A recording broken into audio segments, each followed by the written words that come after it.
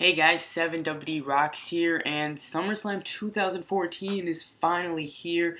Really excited for the pay-per-view. Just took a shower, don't mind my hair being all wet. But, um, so excited for the pay-per-view. Uh, I'm very excited for a good proportion of the card.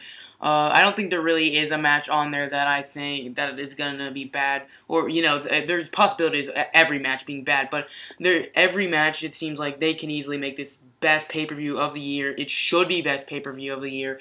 It should really be a great way to end off the summer for the for WWE and uh, I have one week left of school, and uh, it's going to be awesome. Just enjoying some good wrestling tonight.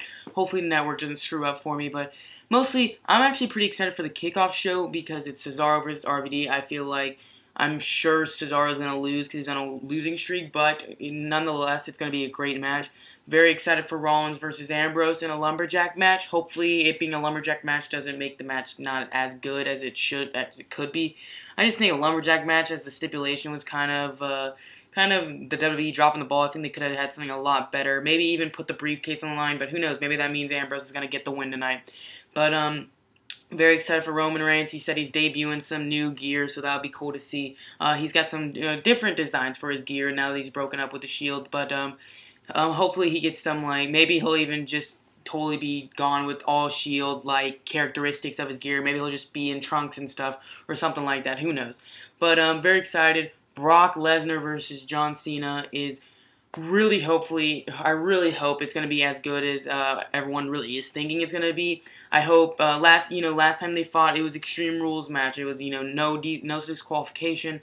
So hopefully it being no stipulation doesn't make the match less you know less good of course. And uh, hopefully it just, you know, really steals the show. Really is a brutal match that uh, shows every each guy getting hit after hit. And I hope it's I hope it's a really good one. I really do. And um, I'm just very excited for the pay per view. And uh, yeah, I can't wait for it. And uh, I'm trying to think of what else I was supposed to talk about, but I just can't remember it. Oh, um, maybe a possibility of Sting. I think a lot of people know Brock's gonna win, so or you know, I I, I have a feeling Brock's gonna win. I think he should. So a lot of people with it being so maybe predictable. I, I hate using that word, but it could it might be predictable that Brock's gonna win. I hope something big happens after that. Maybe the authority comes out to congratulate him, and uh, you know it looks like they're about to beat up um, John Cena, and Sting comes out or some you know something crazy. Maybe Brock's uh, wins the match, and then the gong goes off, and Undertaker, you know, the lights go out, and it's just a small hint of what is to come of Undertaker in the future we'll see what happens. I really hope you guys do enjoy the show. I'll be tweeting all during the show at 7WWE Rocks, my exact YouTube name. And uh, it's going to be a fun show, and I'm very excited for it. So enjoy some great wrestling. Be sure to tweet during, with me during the show, and uh, we'll be talking about all the matches. Like, comment, subscribe, all the good stuff. And yeah, enjoy SummerSlam. Tomorrow I'll have a video. Probably, I might review it.